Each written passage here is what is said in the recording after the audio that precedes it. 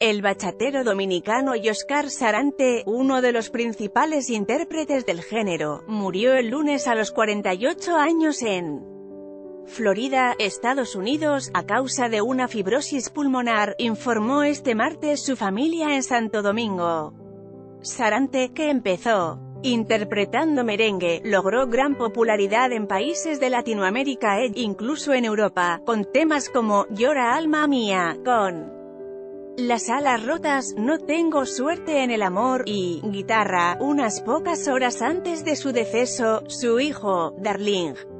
Sarante pidió, a través de las redes sociales, orar por el cantante, quien nació en 1970 en el populoso sector capitalino de villas agrícolas y que mostró su inclinación por la música desde niño. Zac Efron revive al asesino serial.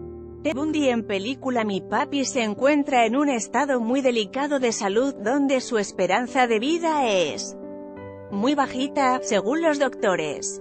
El señor ha hecho su obra dos veces y aunque los doctores nos han mandado prácticamente a preparar un funeral, Dios lo ha levantado y esta vez no será la excepción cantantes, funcionarios y políticos dominicanos han expresado a través de las redes sociales su pesar por la muerte de Oscar Sarante, quien desde hace un tiempo no aparecía en actos públicos, nuestro género ha perdido una superestrella, una de las mejores voces de la bachata.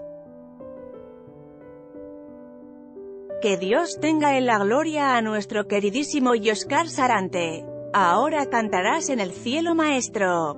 Mis condolencias a su familia, escribió en Instagram el bachatero estadounidense de origen dominicano Romeo Santos.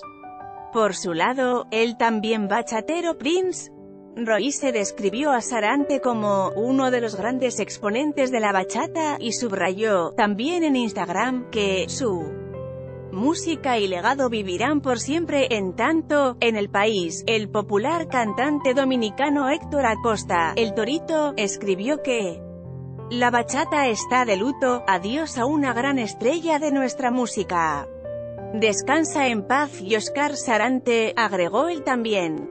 Bachatero, Frank Reyes. Hasta el momento, ni la familia del cantante ni su representante, Martín Alcántara, quien confirmó la muerte. Este martes a medios del país, han informado de los actos fúnebres.